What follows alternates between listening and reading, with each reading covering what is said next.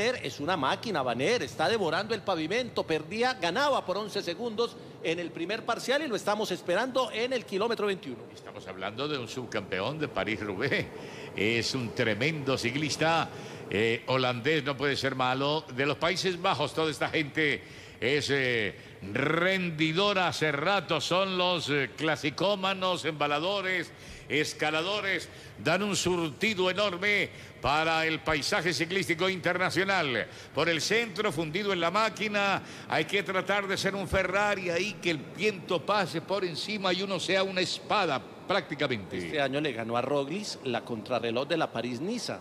Aunque, aunque esa era de 13 kilómetros, le ganó por dos segundos a, a, a, Roglis y le ganó por seis segundos a Rohan Dennis. Esto para tener su referente inmediato. En esa ocasión, Daniel Martínez perdió por 28 segundos en esos 13 kilómetros. Ven, Pepe, ven, que ahí llega otro corredor. Ahí está Ben O'Connor. Va a finalizar. Posición número 11. Es el tiempo precisamente del pedalista del AK2R. Ben O'Connor es el que hace... Pierde por 1.45, pierde por 1.45. Hay que mirar esos tiempos porque esos tiempos se van a ir a clasificación general. Así es, vamos a estar atentos entonces, mi querido Rubencho, del paso de este ritmo demoledor que viene Bud Van y continuamos con Primo Roglic que vuelve y se ubica hasta en la parte central, allí con esta posición aerodinámica, buen pedaleo, buen tranco precisamente con esta velocidad crucero, buena cadencia, buen pedaleo, en pleno terreno llano. Vamos a estar atentos entonces del arribo de Primo Roglic, pero lo que verdaderamente llama la atención, mi querido JJ, es el tiempo de Aert. Ahora va a ser quizá el mejor segundo tiempo o el mejor tiempo quizá por el segundo paso intermedio de esta contrarreloj de 31 kilómetros. Bueno, eh, lo de lo de Van nos sorprende. En, en contrarreloj ya registramos su victoria en la crono de la París-Niza en el Campeonato del Mundo del año pasado fue segundo en, la contrarreloj, que fue de 43 kilómetros. Fue segundo detrás de Filippo Gana y por delante de Renko Ebenepoel. Tiene antecedentes como hombre al crono, pero hoy está eh, liquidando la etapa y creo que eh, no la carrera, pero sí va a ser difícil pelearle la carrera al Jumbo Visma porque podría quedar con con eh, eh y con Roglic en primera y segunda posición de la clasificación general y esto ya sería eh, un reto muy alto para los demás equipos. Mira el bosque, mira este túnel, este túnel que viene, mire los fuertes, parecen columnas alrededor de la carretera. La naturaleza, un prodigio por este sector. Eh, para la foto, mira al fondo el público, esto es para foto, claro.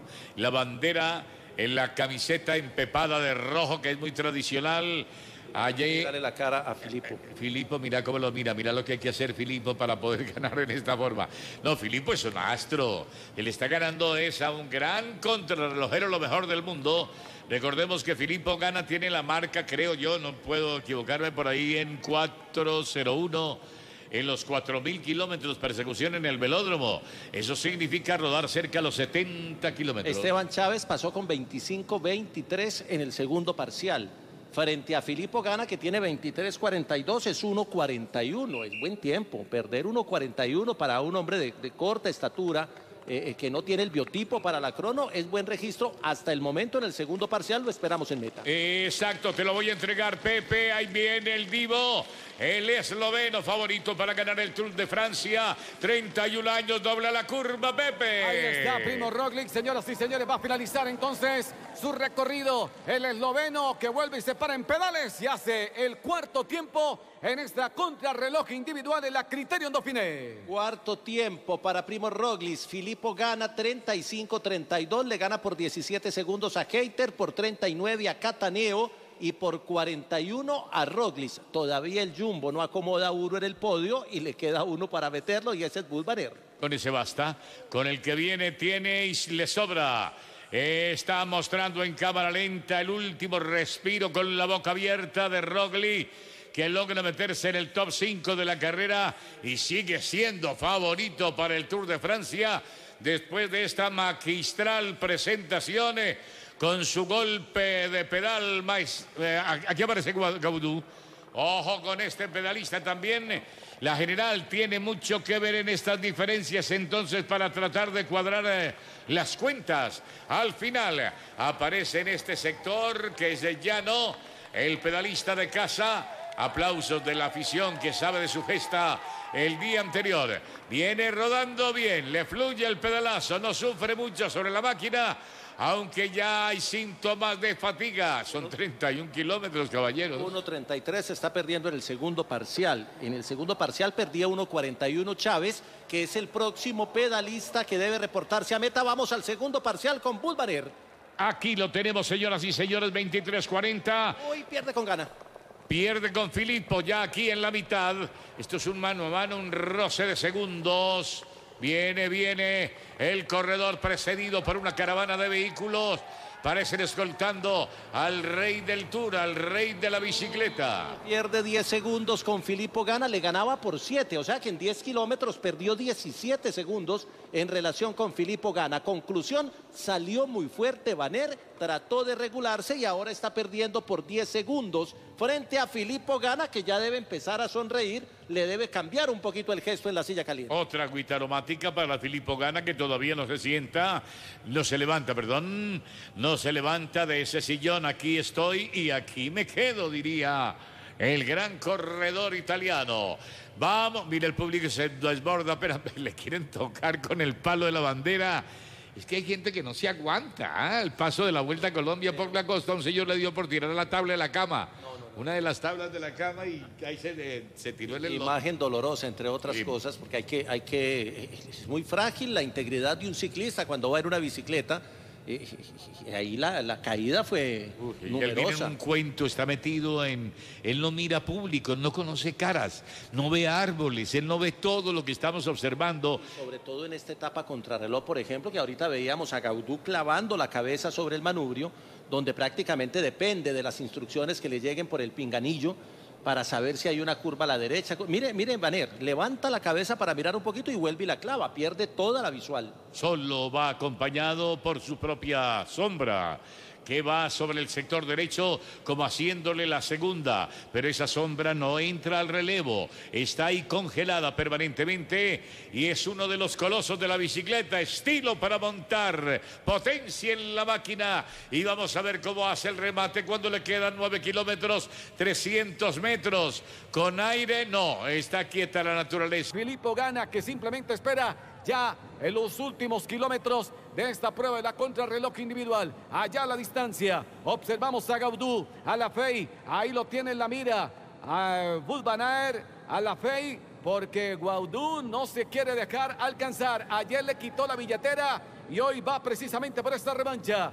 Budbanaer de nuevo, el líder que se va ubicando ahora sobre la parte izquierda de la vía. Vuelve y se ubica sobre la parte central. Ahí está. Esto que le sirve de guía. De nuevo con esta posición aerodinámica y sigue aumentando el ritmo. Ahora va a una velocidad promedio de 62 kilómetros por hora. J, ahí va el líder. Ahí va Bud Banner que va a conservar la camiseta amarilla. La duda es si gana la etapa. Perdía por 10 en el segundo parcial, ganaba por 10 en el primero.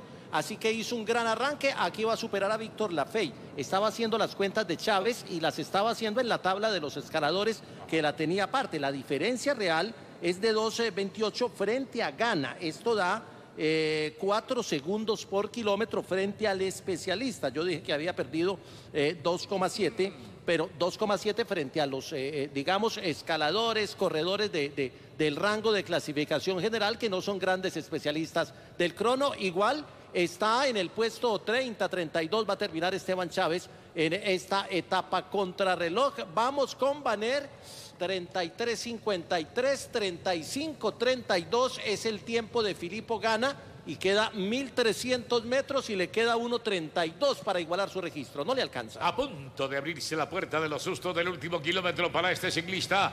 Enchapado en oro, vestido de amarillo, la camiseta del líder del Dauphiné defendiendo el criterium aquí en las piernas de este pedalista que está ya prácticamente colocando la última tanda de pedalazos, entra el último kilómetro y se abre, se abre la puerta de los sustos para saber si gana o no gana. Si Filippo se queda en la silla o es este hombre el que lo va a destronar, que definitivamente va a ser el líder de la carrera, va a continuar siéndolo.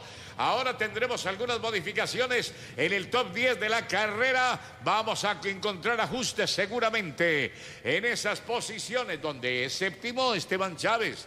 En la general hoy amanecimos con el colombiano en la séptima casilla. Le quedan 600 metros y le quedan 30 segundos para superar a Gana doblando esta recta. Aquí se enfrenta ya a los últimos metros el pedalista. Al frente tiene a David.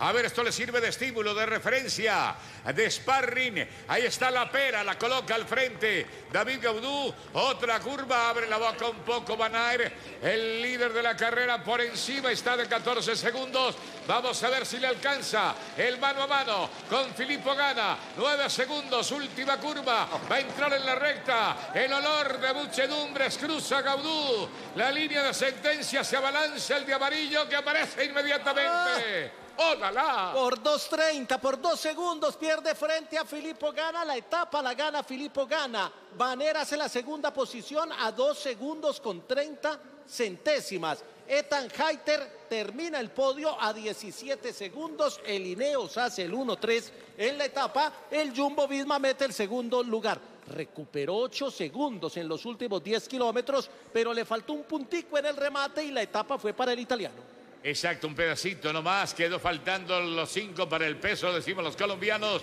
pero nos han hecho una gran demostración de ciclismo. Mire usted, dejando lo último, exhalando hasta el último suspiro, así es una contrarreloj, una contrarreloj usted no puede guardar nada. Tienen que entregarlo absolutamente todo. Aquí viene Filippo Gana recibiendo la felicitación al italiano que estaba atento. ¿Desde hace cuánto estaba sentado en esa silla Filippo Gana? Uy, desde las 7 6 de la mañana estaba sentado, 35-32 por dos segundos le gana a Bud Banner y por 17 a su compañero de equipo en el Ineo, Zetan Heiter. Matías Cataneo hace una gran crono a 39, Roglic a 42, Durbris a 53, Bingengar a 1.12, Caruso a 1.25, Tao Gegenhardt a 1.31 y Ayuso a 1.34.